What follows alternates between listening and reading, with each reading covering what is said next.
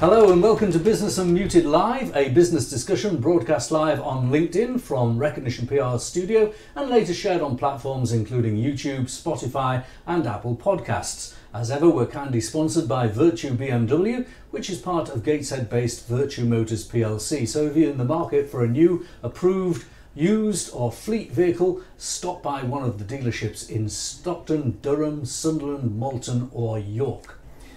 Now, today's episode of Business Unmuted is a net zero special.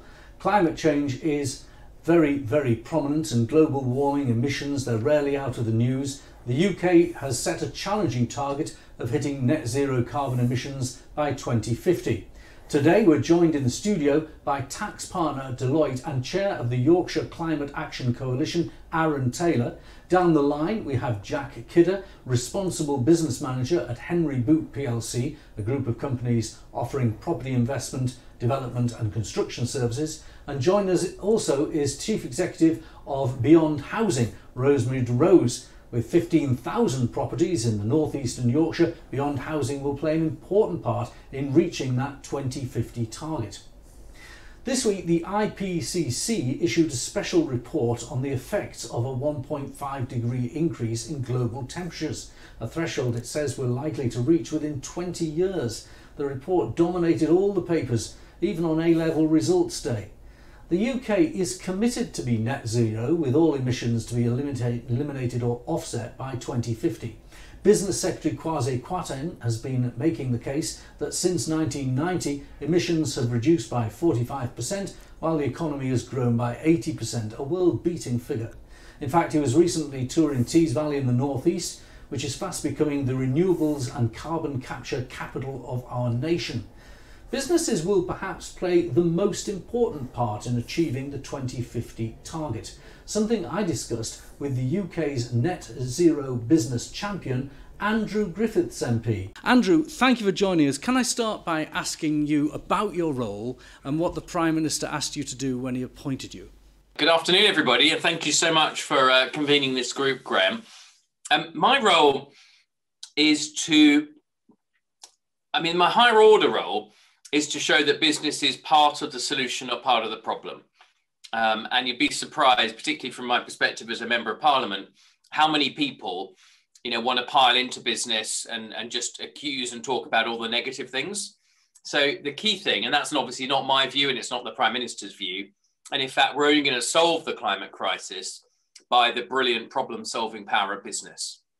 So my role is ultimately to show and generate the proof points that make that case. P and I talked to him at a, a, special conference call for businesses around the north of England organised by Deloitte. And it was very interesting as well. Now, before we get into all that, uh, first I'd like to talk to Jack from Henry Boot. Uh, I turned to Henry Boot first because it's launched its first net zero carbon framework. I've got a copy here. Now, Jack, what is this uh, framework and, and what's it all about? So, effectively, the framework is our plan to reach net zero carbon um, by 2030. Um, and being really honest, for us as a business operating in real estate, real estate in a built environment, you know, we've been environmentally minded for, for a long time, but I think we, like lots of other businesses, have noticed and, and are, are responding to the, the need for increased ambition. And you know, we all recognise that, uh, you know, as you've said from the IPCC report this week, um, you, you, know, to, to tackle climate change requires real ambition. It requires collaboration, and I, I think it requires us all to really step up and, and put our shoulder to the wheel for, for, for doing more on, on what we can all do as businesses. So our net zero carbon framework is, is all about how we do that across the group of companies at Henry Boot and how we respond to the, the challenges in, in our market, but actually how we don't just look at this as a risk and, and a challenge, but actually how do you create a really exciting opportunity for adapting our business and supporting our clients um, as we do that. Henry Boot has massive properties, industrial properties all around uh, England and, and, around the country. How, what practical effects are you able to take?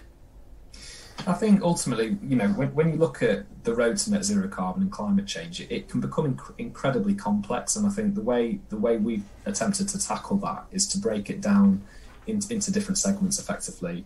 And, and primarily uh, between now and 2030, we're, we're really looking to target um, our direct controlled emissions, so what, what we can directly control. but what we are very, very conscious of is that actually you can't ignore those emissions that are indirectly caused, and that can be everything from staff commuting to the materials you use when you're building. Now, although that's more complex and, and is, a, is a longer term challenge, we are looking at how we can ta- you know tackle that from from day one. But I think the the I suppose the lessons I've learned is that with such a big challenge, it needs to be broken down into bite-sized chunks, and you need to set yourself targets that are achievable. So for us, it's about marrying that ambition and, and really pushing ourselves to, to reach stretching targets, but doing it in a way that's manageable for everybody to understand what their role to play is. Now, you started by evaluating where your baseline was. Uh, and I think it was 2019. You didn't go for a baseline during the lockdown, which might have been a bit easier. You went for 2019. So, how are you yes. going to measure against that? So we we worked with a, a consultancy called Anthesis, uh, who are specialists in in, in this sector, and, and, they were brilliant actually in helping us really build up a full understanding of our, our you know our, our baseline from 2019. And, and, as you've said, we didn't go with 2020 because obviously that was a, a bit of an anomaly with with COVID having an impact. But effectively, what what we needed to understand was where where are we starting from? What was business as usual? And the way we intend to uh, to tackle the issue is basically we've, we've set ourselves our kind of long term target, which is for 2030. But we want to be reporting back on an annual basis how we're decarbonising, um, and and you know as as we look to grow our business, how we reduce our carbon footprint. So I think it's about sharing regular updates both to the market, but also to our own people, so they can see that progress has been made. Um, and, and looking to do that across a number of areas, whether it's electrification of vehicles, whether it's um, looking at how we're you know making positive changes to our, our property. There's, there's various things you can update people on, but I think it's about regular communication and, and progress against those targets. Okay, well, Jack, we'll come back to you later in the discussion. Rosemary, let's let's turn to you from uh, Beyond Housing. All those houses occupied by the general public and, and people who have housing expenses to meet. And and but let's start with what you've said to your investors. What you've said to people who are going to put money into Beyond Housing. You went for a uh, bond of 250 million pounds, an environmental bond, effectively.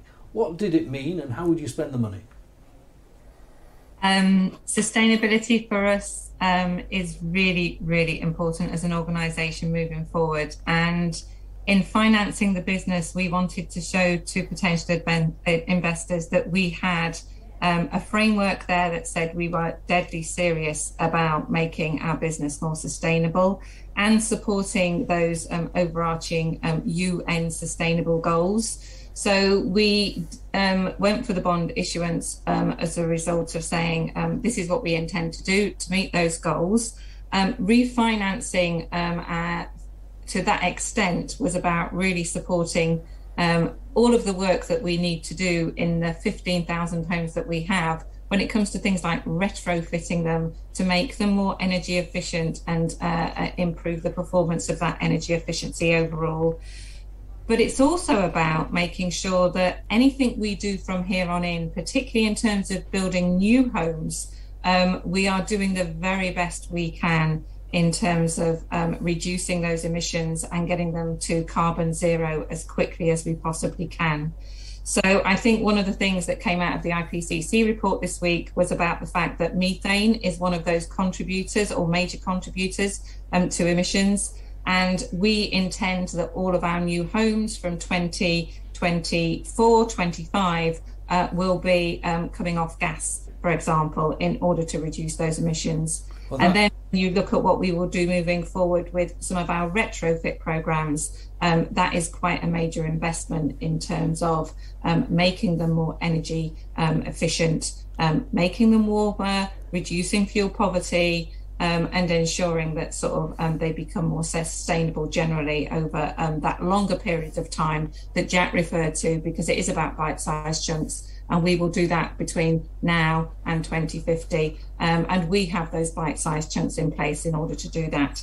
Um, okay, but we, well, let's unpack some of it then, uh, Rosemary, because the, the, the answer you've given, which is very detailed, is, is about two bits. There's existing homes and retrofitting, and I, I saw that you, you put a million pounds into windows in Grangetown in, Yeah. uh, and, and so on, and then you've got the new homes. Let's talk about the retrofitting first.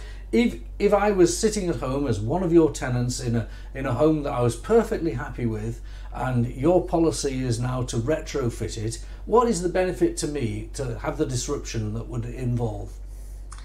Well, I think it's, it's going to be a major challenge for individuals generally, wherever they live. And it's not just the people who live in beyond housing homes, it's people like you and me. We've got to also consider what we can do individually to um, make our homes more sustainable. So we'll be working very closely with our customers and our tenants to under, to help them understand what's needed, and some of those are already engaged with us to a very great extent in terms of them wanting to make their homes more energy efficient and more sustainable. And obviously, there is going to be some disruption um, to um, customers in making those retrofits happen. We're a long way off that. What we have, though, is what we call a low regret strategy, which means anything that we do to maintain those homes moving forward is not going to contribute any further to negative emissions. Right. What we're doing is wherever we invest, we are saying that what will happen is it will improve the situation for them moving forward, m- improve the energy efficiency, improve the sustainability, and then when any major retrofits come along, hopefully we've got less to do. It sounds very much like you're going to be ahead of the government's target because the government has actually said 2025 there's a hard target for carbon neutral new homes, and you said you'd be there, but you might even be getting there or thereabouts on the existing ones. Well, making sure that sort of we come off gas by that point in time for new homes, making sure that um, we we've got a target of fifty percent of all new homes um, will be carbon neutral by twenty thirty. So ultimately, we're not completely there in, in total, but we just say everything we do, if we can set those bite-sized chunks, like Jack says, then we're moving towards it. Um, and hopefully, we will see um, the industry and the types of components that are coming along support that moving forward as well, because some of the things that we need today are just not there or they're just not cost efficient at the moment. Okay. So, hopefully, by the time we move five or 10 years hence, we'll be able to have um, uh, improved components and uh, improved ways of actually doing those types of retrofit. We'll come back to you in a minute, particularly on the question on gas and so on. Let's talk to Arran. Now, you, as well as being a, a, a tax partner at Deloitte, which sounds a bit dry, but Deloitte are really quite into this, aren't they, uh, as an advisory firm? There are audits to do on this kind of stuff, aren't there? Uh, absolutely, Graham. Yeah, without a doubt, this is an area where we can bring our expertise to bear, whether that's from a sort of a consulting perspective, right from some of that baselining that you described, understanding the risks, the opportunities, and then really sort of operationalizing it through to ultimately reporting it. And some of the stuff that you might know is a bit more for that kind of assurance and um, but it but it is the whole journey for us as well as and and I, I think um, this is why I personally got so involved was that sort of convening power that we have as a business and our business relationships, which is where the Climate Action Coalition was actually born. Right. Climate Action Coalition in just a moment, but before we do, tell us about the learning uh, rule for new and existing employees at Deloitte. You've got a, a golden rule that people have to learn about this stuff. We, we do, yeah, and, and I think, and this is actually something that Jack and I have spoken about quite a lot, is that is that you talk about how do you bring to life um, this whole question of, of carbon and the race to net zero, and making bold statements and bold ambitions and commitments as a business is only one piece of it. You're only going to get there if you actually drive this through your business and embed it into the culture. So we all have got to understand climate and what it means in our business activities. So that starts with learning, and uh, we're not just talking about our junior staff. That starts with our partners actually, and that's probably where we have started. And and, and every day is definitely a school day when it comes to this area. Let's talk about convening. You've got mm. the Climate Change Action Coalition, which you discussed, and the clip of the the uh, special Prime Minister's special mm-hmm. envoy uh, was something that was done by that coalition, and you pulled them together to listen to what he had to say, and also tell him stuff. I might add. Uh, what's the progress been of this coalition? Uh, well, I'm, I'm tremendously proud, but it was born out of the idea that this is huge, it is challenging, and that as businesses, we can be, I agree with the statement that we can be the positive power for good and that we can drive some of that change through, and that actually there's a great commercial opportunity in the jobs that we can create um, and, and hopefully export in the future from the whole net zero economy. We can win as, as a country as, and as a region. Um, but it's very difficult to solve those big things on your own. And, um, and therefore, uh, we were working alongside our friends Walker Morris, the law firm, and the University of Leeds. And we came up with this idea together that what happens if we used our collective convening power to bring together businesses in the region to share knowledge, share challenges, and hopefully in the future work together on some of those, on solving the uh, solving those. Jack, are you a member of this coalition? Do you get involved?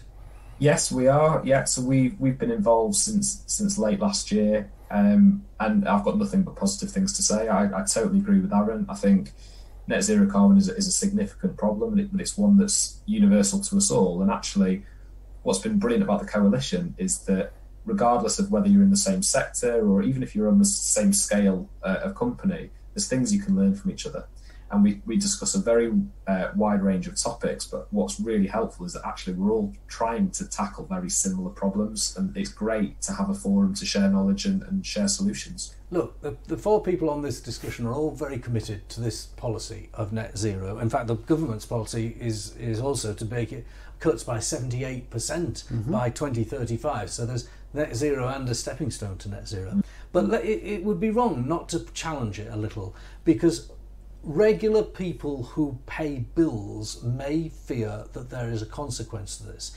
Uh, the Daily Express had a poll that 70% of people do not want to change their gas boiler. The cost of a home could increase by the measures that Rosemary might be outlining. Uh, the cost of a car, certainly electric cars, are considerably mm-hmm. co- more uh, costly to purchase. Um, and the cost of energy, despite the fact that the wind is free, putting the wind turbines in and laying the pipes and the, the wires is expensive and energy costs aren't coming down anytime soon. So, is there any tangible benefit beyond making ourselves feel good for the man and woman in the street? Arran? Well, I, I think that actually, uh, if we think about the power of business, um, we're not just there we, we, to serve our sort of uh, communities and our customers, but actually we are generally collections of people. And actually all of our employees are, are those man and lady on the street who, who feel those same things. And so one of the areas actually that we have discussed quite uh, regularly as a coalition and are looking at in more depth is how can we use our employee employer relationship to drive some of those positive behaviors and make it easier for people to make positive choices that is win-win for them. And actually, you know, for example, you know, uh, employee EV vehicle schemes. The, the tax side, I will slip into tax mode here. Mm. It is incredibly um, uh, generous in terms of the tax uh, breaks available to take an electric vehicle that does make it affordable. For example, so we as employers can make these things more accessible to our employees, and our employees are telling us that that's what they want to choose. Uh, that's I, I, can testify that myself. I, we have a very small fleet of vehicles, mm-hmm. and every member of staff has requested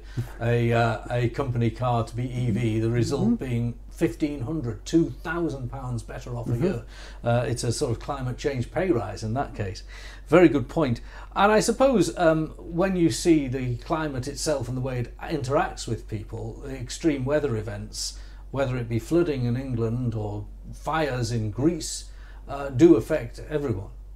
It just makes it real, doesn't it, for all yeah. of us? I don't think any of us could debate uh, at any point over the last uh, few weeks the way that the news has come in. Um, it, it is beyond doubt, and I think it brings it home very, very quickly to all of us. and it, it, makes it non-negotiable. I think that these these are things that we all have got a responsibility, but I believe that as business we have a greater responsibility, given that we can um, cre- create more action collectively than any one individual can do on their own. Let's just talk about some choices. Uh, Rosemary, Rosie, let's talk about you mentioned the new houses you build will not be powered by gas. Have you made choices yet on the technology you will go? Because there are new technologies, and you might, not that you would, but you might make the wrong choice going with air source when maybe hydrogen's down the way.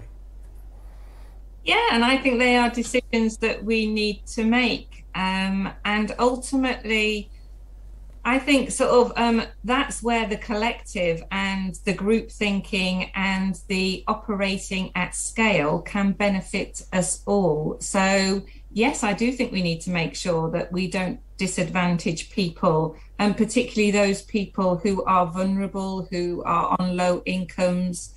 I really do think it is a balance between saying sort of some of the things we're suggesting here that can make homes more energy efficient and at the same time um, create better sustainability, lower emissions, etc., are possible. Um, and some of the things we were talking about about phasing it are really important because that new emerging technology is changing all the time. Mm-hmm. so um, we do have to tread carefully but that collective approach means that we should be able to get the very best of both worlds. I think similar um, to what Arran said you know wake up call code red for humanity um, it's non-negotiable you know, I get quite frightened when I see the the consequences if we do nothing. I, you know, as a collective, we have this within our gift to do something and do it right.